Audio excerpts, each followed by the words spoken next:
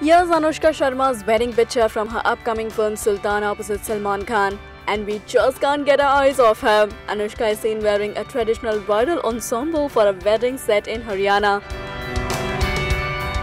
And this is one of the key looks of the actress in the movie. The look is a part of a special sequence in the song Sachi Muchi from Sultan.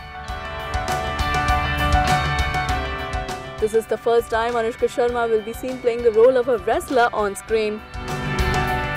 Anushka looks top dead gorgeous in this picture and we are mesmerized looking at her side. Sultan is slated to release on the 6th of July 2016.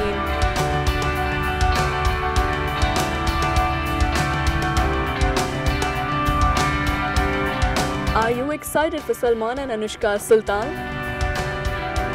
For more videos, please subscribe to Bollywood Asia.